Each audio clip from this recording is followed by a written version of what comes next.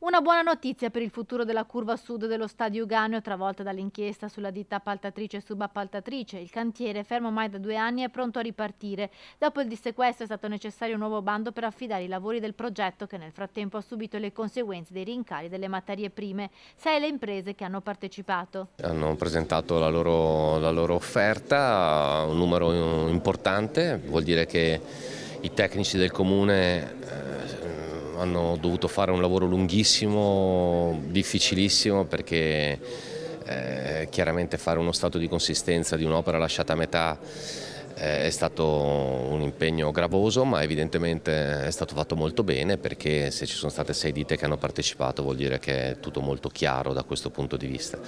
Sono ovviamente un po' rinfrancato da questa partecipazione perché eh, insomma, qualcuno diceva anche che probabilmente non, nessuno avrebbe mai partecipato a questa gara d'appalto, invece ci sono sei ditte. L'assessore Bonavina non fa pronostici sui tempi, ma questo è un primo buon risultato. Buon lavoro alla Commissione e speriamo che un po' di fortuna ci, ci assista in questa seconda fase di questa, di questa importante opera che mi piace sempre ricordare, eh, vede sì la costruzione della nuova curva sud dello Stadio Ganeo, ma soprattutto vedrà la realizzazione di due nuove strutture che saranno importantissime per lo sport della città.